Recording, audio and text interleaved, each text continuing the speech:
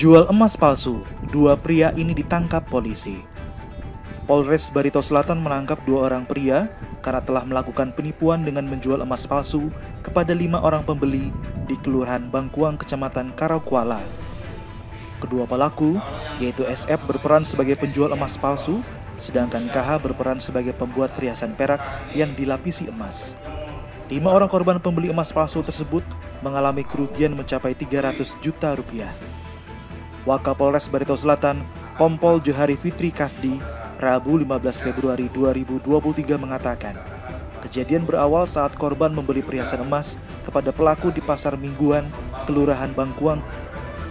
Perhiasan emas yang dibeli berupa kalung seberat 1 ons seharga 86 juta rupiah, gelang 60 gram seharga 48 juta, dan gelang 50 gram seharga 43 juta.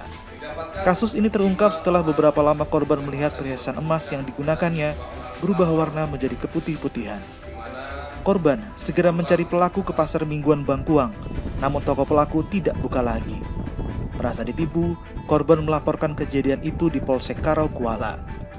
Menurut Wakapolres, ada lima orang korban yang membeli emas palsu tersebut, yaitu Rini dengan kerugian 177 juta, Imah 25,5 juta, Marsi Mustikama 12,6 juta rupiah, Mawada 8,4 juta, dan Fahrianti 8,4 juta rupiah. Dari Buntok, Lismudi, Tabengan TV.